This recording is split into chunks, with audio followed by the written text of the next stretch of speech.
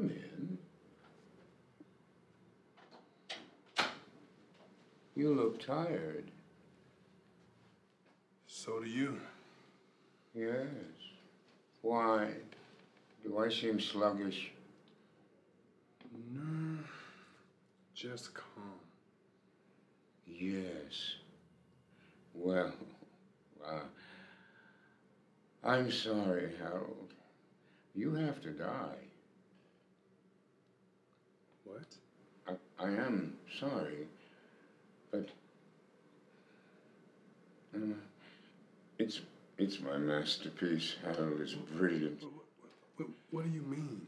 It, it's possibly the most important novel of my career, and it's absolutely meaningless unless you die at the end. I don't care. Oh, Harold, you don't understand. I understand. No, I'm Just don't care. I've been over it again and again, and I know, I know how hard this must be for you to hear, but your life, no one's life is more important than this book. So you're asking me to knowingly face my death? Yes. I thought you you would find something, or I would I would hope that you would find something that maybe we could. I don't I don't I don't know. I am sorry, Well, can't we? Can't we? Can we erase it? Harold. Harold, it wouldn't matter. It it it does matter. It it would matter. No. I, I could change. I can be someone else. I mean, I, I, I could go away, quit my job. I can even fall in love. But please, I, I just, I can't die. Not right now. Not while I'm starting to live. It's,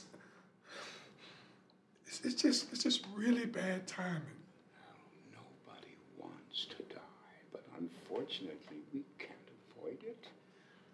Harold, Harold, listen to me. You will die someday, sometime. Heart failure at the bank.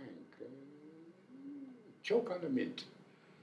Some long, drawn out disease you contracted while on vacation. You will die. You will absolutely die. And even if you avoid this death, another will eventually find you. And I can guarantee you, it won't be nearly as poetic or as meaningful as what I've written. No. No. I am sorry, Harold. Mm-hmm. It's the nature of all great tragedy. The hero dies, but the story lives on